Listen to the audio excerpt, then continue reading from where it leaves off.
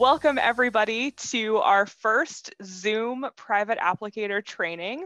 We're glad that you joined us. There are over 350 participants logging into this Zoom. So please give us a chance to go through our welcome introduction. We will continue to answer questions in the chat, but do know that there are far more of you than there are of us right now. And we will explain exactly how we're keeping track of attendance and how you will be getting your credit for the class today. So maybe just hold your questions until I get through this introduction. I am going to go ahead and share my presentation. All right, welcome to our private applicator training. My name is Amanda Bachmann. I am the Pesticide Education and Urban Entomology Field Specialist for SDSU Extension. I'm based in the Pierre Regional Center, and I know normally we see folks in person, but that just wasn't going to happen this year. So thank you for joining us online and perhaps learning a new program. I know Zoom might be new for some of you. For those of us on the SDSU side, we have been deep in the world of Zoom for about a year now today's schedule. Going to go over sort of a quick orientation. Valerie Mitchell with the Department of Ag is going to give us the laws and regulations update. We'll have Laura Edwards going over climate. We will have a short five minute break. We're not going to have a lot of breaks in here, so um, make sure to use your break wisely. Make sure you're comfortable. Feel free to, you know, stand up and stretch at any point, you know, walk around the room, um, we've got plant diseases, insect pests, and then weed management in the afternoon. And then we will finish, hopefully as close to one o'clock as possible. When this Zoom closes, it will send you automatically to the affirmation form. We will also share that link at the end in case something happens and you don't get sent there. But there is an affirmation form at the very end that is required for you to fill out to get credit. You must send that affirmation form before six o'clock tonight to receive credit. This is the online equivalent of me handing you that piece of paper to fill out and you handing it back. If you don't fill out that online form, it's like you walked out of the room without handing us that piece of paper. That affirmation form has spots to include other people at your location. That affirmation form can hold three people. If you have more than three at your location, there are instructions on the affirmation form about how to email me that information. It really helps us when you fill out that affirmation form completely and accurately. It will ask you for your private applicator number. If you don't have your card handy, you can look up your private applicator number at the Department of Ag link that's listed there. I will post those things in the chat. Um, you can also look at your barcode and it is the number immediately under the barcode, the first seven digits. It helps us immensely when you give us your full name, middle initial, the mailing address where you want your card to be sent. It helps us that you put in your county and your email address. Your sort of affirmation form receipt will be emailed to you. So it is imperative that you put in a valid email address. If you are a new private applicator, Department of Ag will ask you via email for a copy of your identification. Attendance. You need to be online for the entire PAT. I will get an attendance report at the end of this meeting and I will be able to see exactly how many minutes your account was logged in for. So if you cheat, uh, I'll be able to tell. Um, if you're joining us via phone, make sure to throw your name in the chat so that I know what name to associate with that phone number. I do not need your name in the chat if you are joined under a Zoom account. That's only if you're uh, joining us via phone. If you have questions, um, questions about the content, please use the Q&A little button at the bottom of your Zoom screen. If you have questions about your certification status after the PAT, please email the Department of Ag. They're the ones with the hmm. database and will be able to tell you you know, perhaps where your uh, certification card ended up. You know, if we get errors in mailing addresses, you know, that can throw kind of a wrench into the works.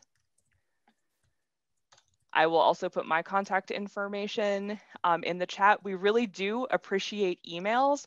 There are so many of you and we only have, you know, one or two phone lines. So whenever possible, please send us an email with your question. We will be able to help you much more efficiently versus us being on a phone call, getting five voicemails, and then having to dig through um, that sort of avalanche of information. So whenever possible, please shoot us an email. I will be putting a lot of this information in the chat while Valerie is speaking. So you can also always scroll back up through the chat to get your questions answered. So with that, I'm going to stop sharing on my screen so Valerie can go ahead and share her screen. Uh, Valerie Mitchell is a pesticide program specialist with the South Dakota Department of Ag, and she's been an absolute rock star through applicator season and generally all year, getting folks uh, tests processed and questions about their uh, certification and licenses answered. And Valerie is joining us to go over the South Dakota laws and regulations. Okay, all right, we're gonna go then. Um, again, Valerie Mitchell with the South Dakota Department of Ag and just wanna briefly go through uh, some updates that have uh, taken place in South Dakota pesticide rules and regulations. And just so that we're all on the same page, of course, I think you probably all know that when I'm talking about pesticides, that is an umbrella term for any type of pesticide, whether it's a herbicide to control weeds, uh, insecticide to control insects, rodenticides. Um, so we see this a lot where people will use the term pesticide and then also in the same sentence use the word herbicides because to the general public, a pesticide is an, something used to control insects, and herbicide is something different. Even in my son's uh, Zoom uh, school, I was cringing because they had used the, both terms, pesticide and herbicide, and they don't need to because pesticide is a, an umbrella term for all the different types of herbicides. And uh, so just so that we're all on the page, same page there. Um, so this is of course a private applicator training. So I just wanted to share with you the definition of a private applicator. And this is a new part of that definition in our South Dakota codified law. And that is that a private applicator is a certified applicator 18 years of age or older. So that did change uh, July 1st, 2020. Uh, we've been seeing that coming for quite a number of years uh, with EPA. And so that has finally been implemented into our state plan. And so that is the definition of a private applicator. So if someone is taking a private applicator exam, if they happen to be under 18, we let them know that we can't issue their license until you know they turn 18. So uh, definition of a pesticide applicator also includes that uh, that is someone that is using any type of pesticide for the purpose of producing an ag commodity greater than a thousand dollars worth of gross sales per year and that's on property that you own or or rent or lease and uh, it also includes hired hands applying to um, their private applicator employees or employers uh, land or or leased land. Okay. Uh, these were some definitions that were cleared up uh, when we submitted uh, laws, update to laws in, and that went into effect um, in, uh, again, July 1st, 2020. And that is clarifying that a, pest, a private pesticide applicator is a person that is applying to um, their own property. And so um, without compensation, okay? Now, this little note here about other than trading of personal services between producers of ag commodities, neighbors can trade surface, surface uh, services, I'm sorry, uh, when it comes to if you're making applications for your ag neighbor, you can trade services with them. You cannot receive any compensation um, for doing that, but you can trade services uh, back and forth, and that's that's okay. But if you're doing beyond that, then you do need to um, beyond just applying on your own land or trading service with your neighbor. If you are hiring out at any point, um, you do need to have a commercial applicator license. Okay, so the definition of a private applicator is someone who's not in the business of applying pesticides for hire. So um, you're if you're kind of out there and, and known as someone that can be hired to to make applications, then you need to have a commercial applicator license at that point. Okay. So just wanted to touch on then um, what's new and what is not new. What's not new is that the um, you know pesticide program is uh, administered through the Environmental Protection Agency, and it is um, it administered through the Federal Insecticide, Fungicide, and Rodenticide Act, FIFRA, as you've probably heard it. And that act covers um, regulation of the distribution, uh, the sale, and the use and transportation of pesticides.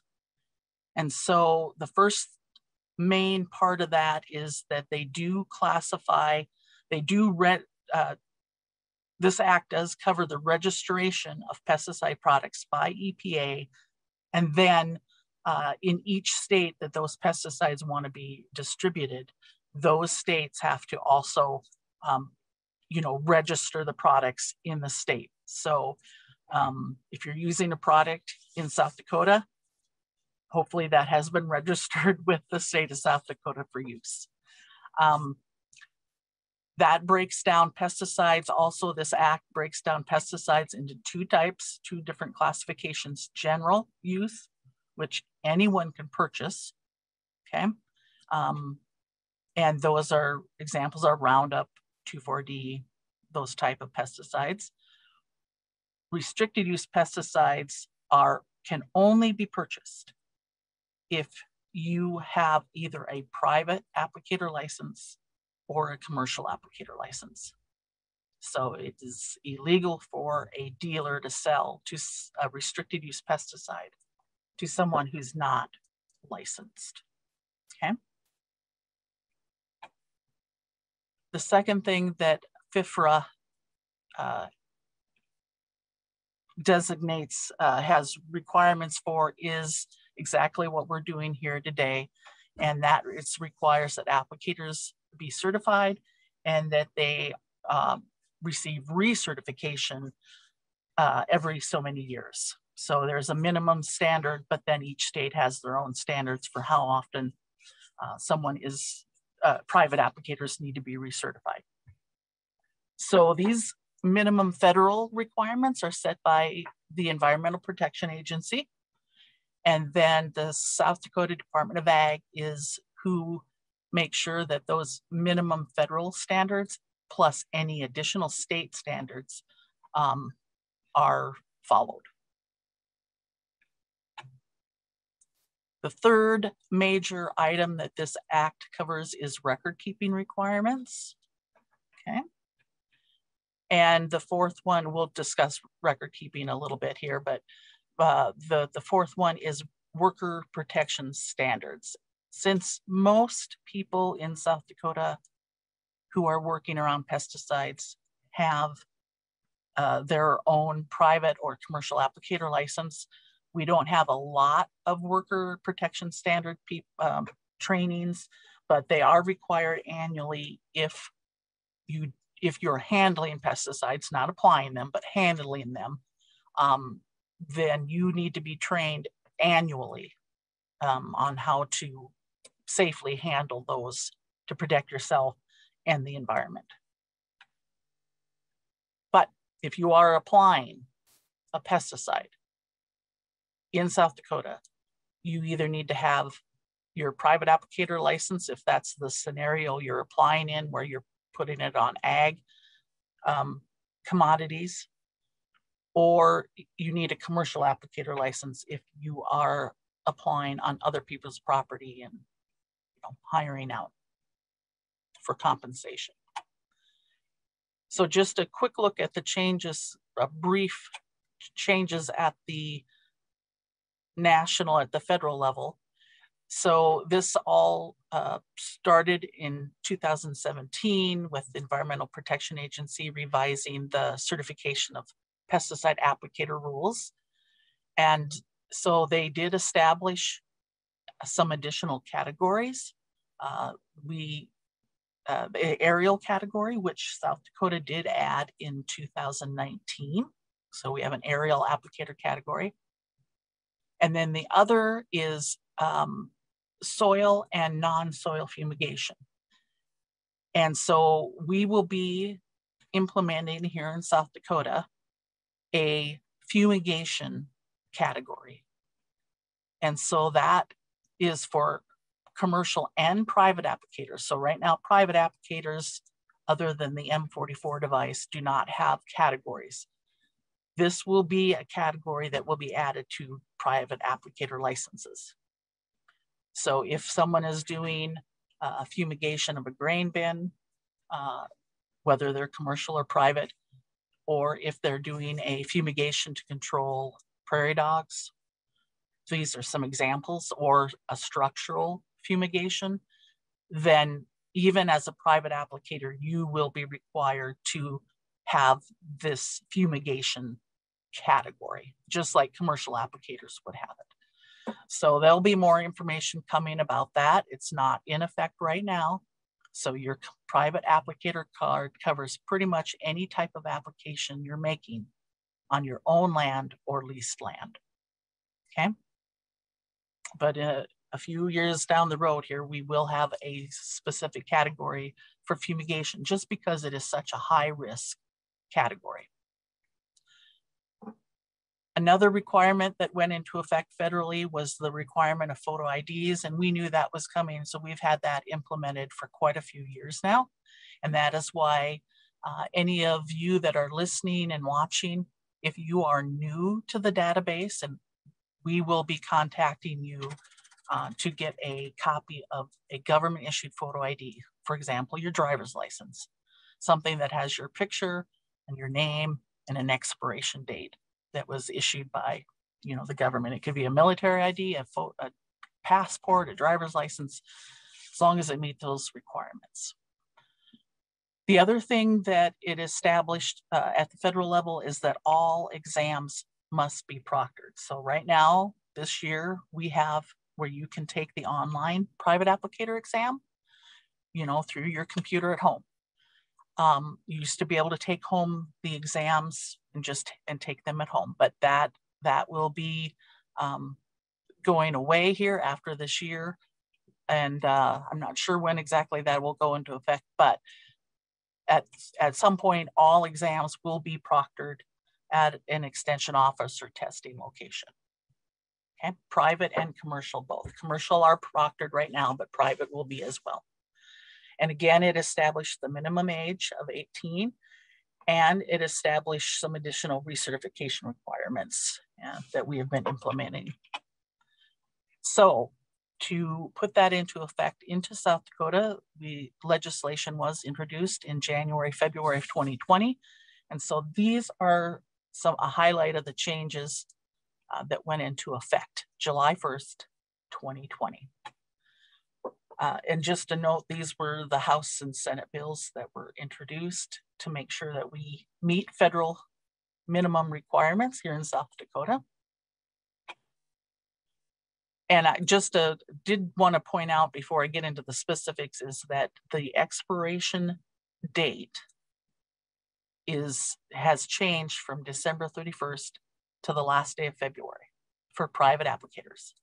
So someone with a current license, it, you know, they're good till whatever December 31st, whatever um, year it ex is expiring. Um, but the, um, my slide advanced there, but, um, so they'll, they'll, they'll be, it's good till when their normal expiration year, but like anyone who's listening today, your expiration date is going to be three years from now, and it will be the end of February 2023, I believe, or 24, I think is what it actually will be, because we're we're in 2021, and two to three, 24. So uh, that's what your expiration date will be. And then um, moving on to application records, that has changed to for private applicators. So normally you would had 14 days to record your applications, which I think is crazy because I couldn't remember what I was doing a few minutes ago. Um, but you used to be able to do it within 14 days and you only had to keep your records for two years. But now we've changed that in South Dakota to match the commercial applicators that have you. So you're going to have to now uh, make sure that you have recorded your applications by the end of each day, which I would imagine most of you probably hopefully doing anyway. And um, instead of just the minimum federal requirement now, in, so in South Dakota, you have to keep your records for three years. Okay. You do not have to send them in to us. You just keep them in your records, however you're doing that, whether it's a computer or paper, there's no specific form. We do have an example on the website uh, if you want a sample to, to use, but there's no requirement other than the 12 um, things that are records that are required to be kept. You can keep it in whatever form as long as you're able to provide that if you have an inspection or um, you know an audit. So that's what the sample form that is up there right now. So three years, you want to keep those in your records. Okay. And just highlighting what I said, make sure that those are recorded by the end of each day, your applications, and that you keep those records for three years from the date of application. Ah, well, and that was a slide that I probably can't go back here to. These are the 12 requirements. Again, this is on our website. Um, and there is a form that has the all four 12 of these requirements. I'm not going to go through them today, but if you have questions on that, certainly give us a call. And just was sharing the specific law that went into effect about uh, the new requirements for both private and commercial applicators needing to be uh, 18 years of age or older to hold a private or a commercial applicator license.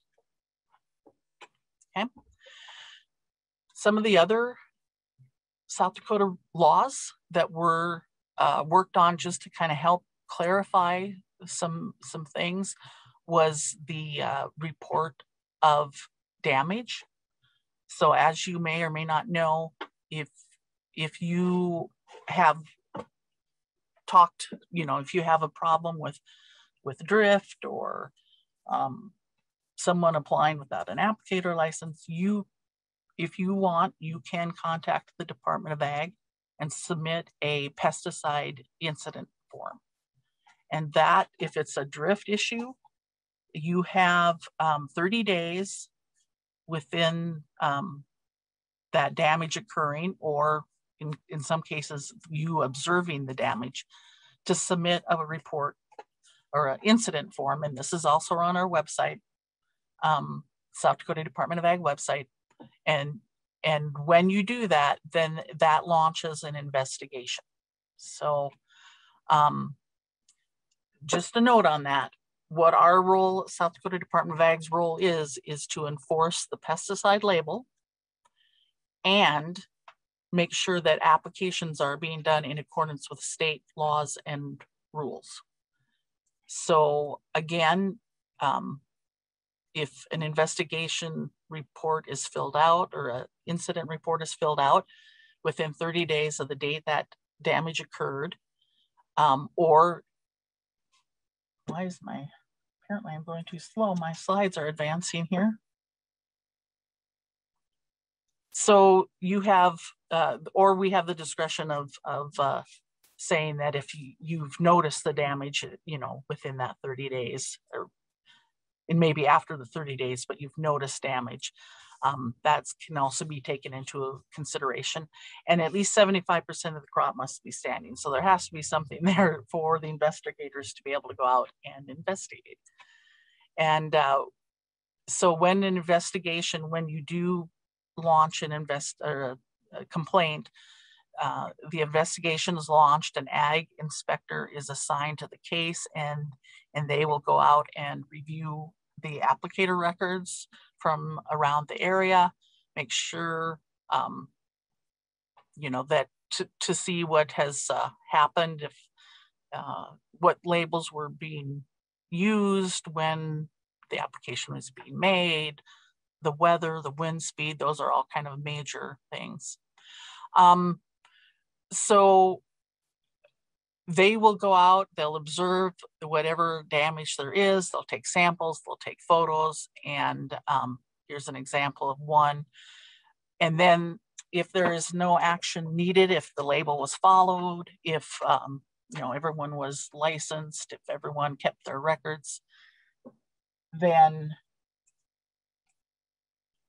there you will get a summary letter and if there's enforcement action you will get notice of what that is as well whether it's a warning or a, you know a civil or criminal um, sanctions you will get uh, information about that. Just a note of drift information in 2020 pesticides 70 uh, investigations uh, 17 of those dicamba related which is down from prior years.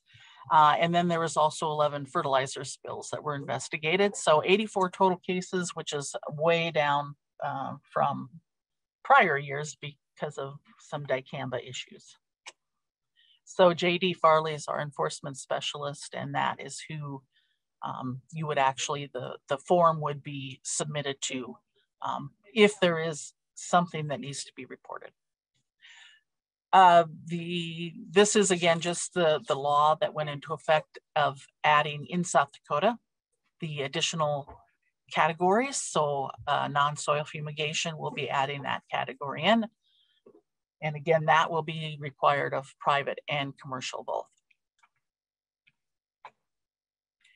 This is kind of one that's a little confusing, um, but it basically says that an applicator can only hold one applicator license. So uh, if a commercial applicator uh, has, has a license, they will have their commercial categories. And you can see in this case here, this is an individual with category G, which is the general commercial category, and category 15, which is wood preservative. If they also have a private applicator license, it will show up as a certification on their commercial card, meaning that for hiring out, they can hire out to do wood fumigation, but for on their own land, for private applications on their own land or lease land, they're covered through, for most pesticide applications through their private certification. Now we have two different databases yet right now for this. So your card may or may not show, reflect this, uh, but um, basically, if you have a commercial applicator license and you also have your private certification, that will show up on your commercial license. If you just have a private applicator license, that's, that's fine. You'll just have that card, okay? If you have a commercial and a private and you happen to drop your commercial, it'll go back and revert to being just a private applicator license. Um, but, and we may have some questions on this, but just know that the bottom line is that you'll only have one uh, license, whether that's commercial or private. But you can keep your certification for private current by going to one of these trainings like we're doing right now. Uh, and that again covers you for anything you're applying on your own land or lease land. Okay, just uh, look at the implementation schedule of some of these federal and state laws. Again, in 2017 is when Um, the rules at the federal level went into effect. And then of course we have a few years uh, to get our plan updated and submitted to EPA, which was in March of 2020. Some of the new laws again went into effect July 1st, 2020. And then the other note is that on April 20th of this year, uh, the South Dakota Department of Ag is going to merge with the South Dakota Department of Environmental and Natural Resources. And so now if you see, see the branding coming out after April 20th, it will be South Dakota Department of Agricultural and Agriculture and Natural Resources. So just a note on that. Uh, briefly, I think I'm doing, I uh, don't want to take too much more time here, but uh, wanted to just mention dicamba and paraquat use. So if you are using paraquat, you must have a training every three years, a minimum of every three years, in order to purchase, handle, or apply paraquat. And you must uh, be able to provide the proof of your training in your records. You don't have to turn it into us, but you have to turn keep that certificate in your records. And I think last the last webinar we did, we had that link to the training and I don't have that in my slideshow now, but maybe we can, maybe Sarah or Amanda, you can add that into the chat, the link to the uh, paraquat training. And then you get a certificate that you can keep in your records. If you're using dicamba specifically, dicamba, ag use dicamba products, the three products used for soybeans, you are, uh, the label currently says that you have to go to dicamba training annually, so each year. So if you, you're gonna be using any of those three specific soybean products in, um, in 2021, purchasing them or using them, then you need to do your training. And there are, again, links to the three companies that have the training online. So some of them are holding a webinar every Wednesday. Some of them it's a self-paced course, however you want to do that. I hopefully we can put that in the in this webinar's link as well. The last date that you can apply these those specific dicamba products for soybeans is June 30th. Okay. That's the federal label and the state label. So these are the three products that we are specifically talking about that you need dicamba training for. Uh, the XtendiMax, Engenia, and Tav Tavium Plus. Okay, so currently there these are only used on cotton and soybean, and they will are set to expire 2025. So again, hopefully we can maybe put in the links to those crop trainings if we can find them from the last webinar we did. Um, but you can give us a call here too if you need those here at the Department of Ag. We can send you the list of the links to the different companies providing those that dicamba training. Okay, and as I meant, I think I'm showed that that uh, in South Dakota, all ag dicamba ag products, not lawn products, but ag products are a restricted use pesticide, which means you have to have a private applicator license or commercial applicator license to purchase it and to apply. Okay. This is just a little pinpoints here. I don't know if you'll be able to see it, but uh, this was uh, the last three years of dicamba uh, investigations that happened. So um, pretty quite a lot of quite a lot of investigations over the last three years and 2020 was a little bit better um, but nonetheless still a few. And then just a brief mention of field watch and or otherwise called drift watch and it's a mapping program created by purdue ag De uh, department and it is a place where um, pesticide applicators can can, can uh, well, especially crop producers, beekeepers, and um, can communicate with pesticide applicators. Um, so you kind of know where those really highly sensitive crops are And uh, this is a, a, voluntary and it's free. It's uh, you know not anything that's required, but I just wanted to make you know be aware of this, and we do have information about this on our website as well. So that's called Field Watch. Uh, and these are the states that currently are, are uh, utilizing this uh, communication.